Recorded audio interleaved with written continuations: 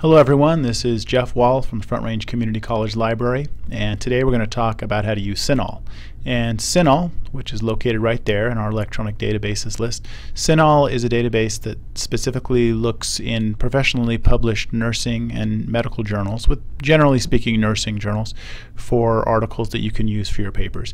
So if you're taking a, a medical class, medical terminology, nursing, um, nursing assistant, any of those kinds of classes, it's very likely that at some point during your class you're going to be asked to, to write a paper using articles that you would find from CINAHL.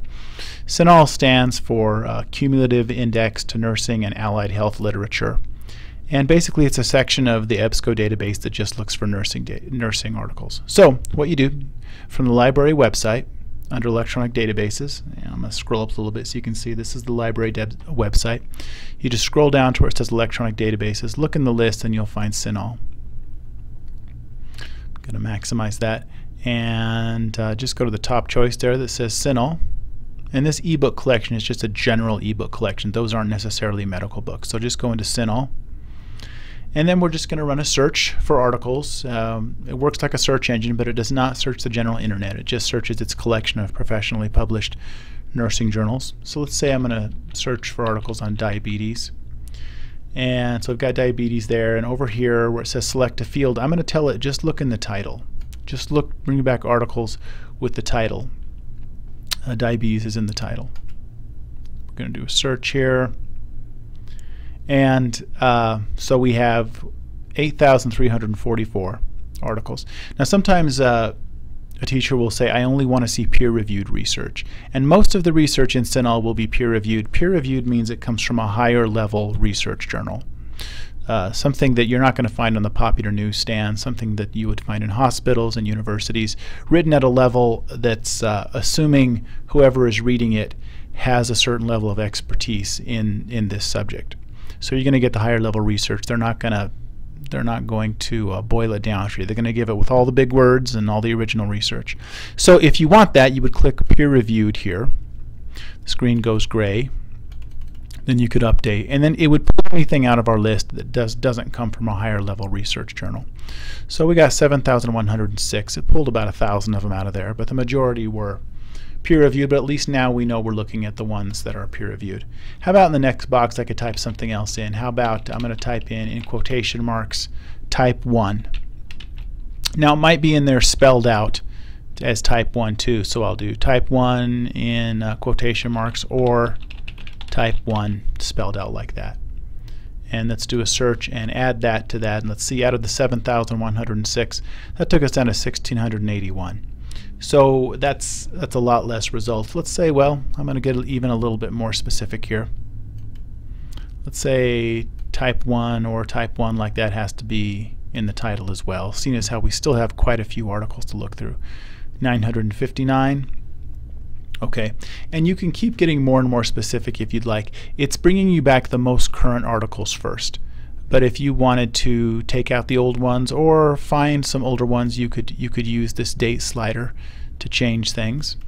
Uh, you could also let's see, there's all sorts of different um, very specific options you could set for this. Let's say one of the options I sometimes like to set is how many pages it has. And you don't you certainly don't need to do this, but if I go to show more on the options, let's see if they give us that option in here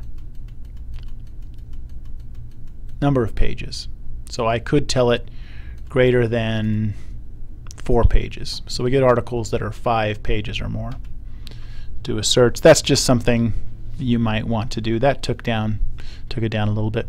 So let's say we found some of these articles we like. I'm going to open up one of these and it gives us an abstract of the article first. And if you don't see the full text at first, it is in here. You just have to click here where it says PDF full text.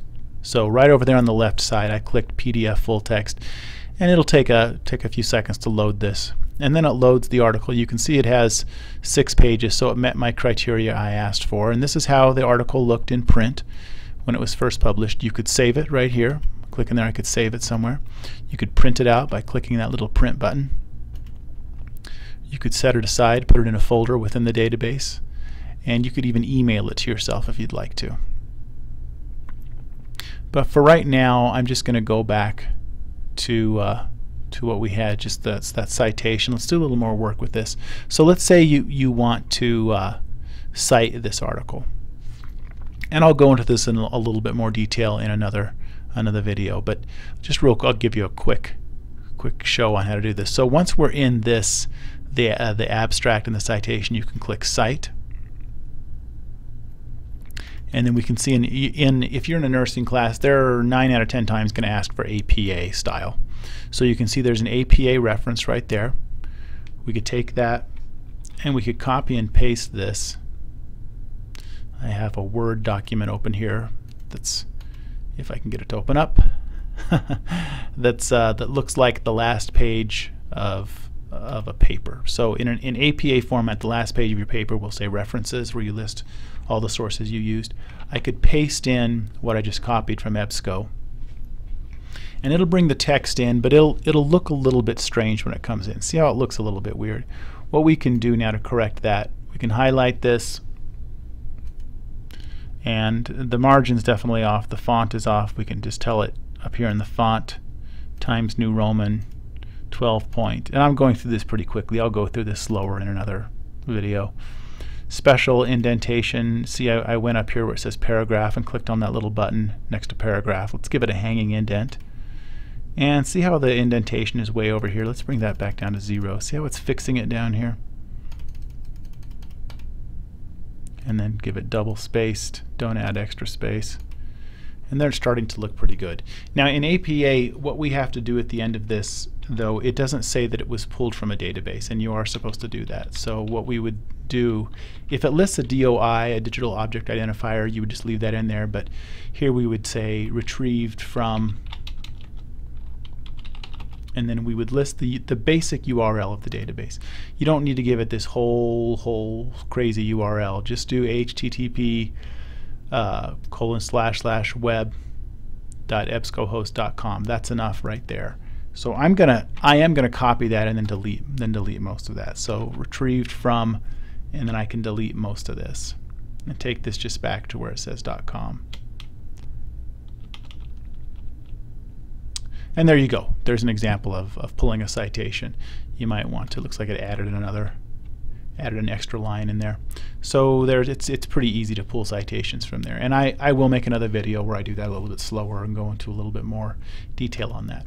So that's that's the basics of using this database, um, CINAHL. If you've done a search and you want to start over with a new search and just clear clear the slate, you can click New Search. So those are the basics of how to use this. There's a lot more complicated things you can do in the database, but that's enough to probably get you started and enough to probably get you through your assignment, and you'll figure out some things that you like to do differently with this database. Uh, if you have any questions, please contact me in the library, and my name's Jeff.